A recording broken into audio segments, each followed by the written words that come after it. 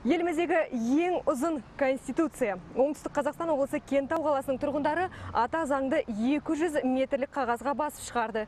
Идея авторы тарих пәнінің мұғалімі Тұрар Мәдениетұлы мереке күні қала тұрғындарына осындай тамаша тарту жасады. Оңтүстік өңірдегі мерекелік шаралар жайында тілшіміз Айнұр Ақпаева тарқатады.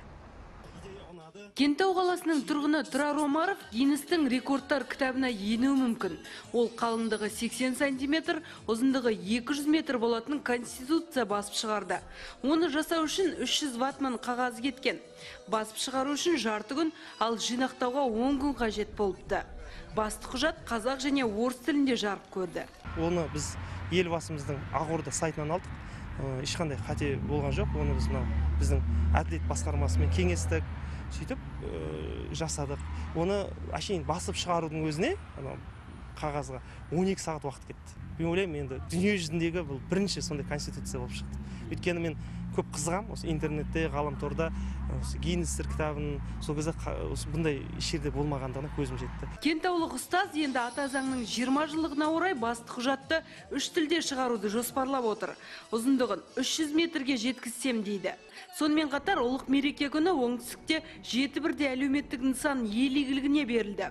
Төле би ауданында бой көтерген нысандар қатарында үш мектеп пен бір балабақша, медициналық пункт және мәдениет үйі мен учаскелік полиция тірегі бар.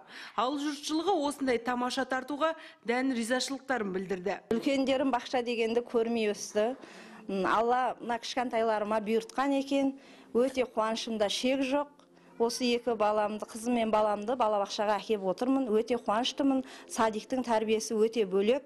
Осы жерден балаларым тәлім тәрбие алып шығады деп ойлаймын. Сондай-ақ айтулы мереке облыс орталығында да кең көлемде аталып өтті. Айбыны мықты ата заң деген қауым Шымшаһардың ең биік жерінде орналасқан. Тәуелсіздік саябағында жиналып, татулықты ту еткен азат елдің ата заңын құрметтеді.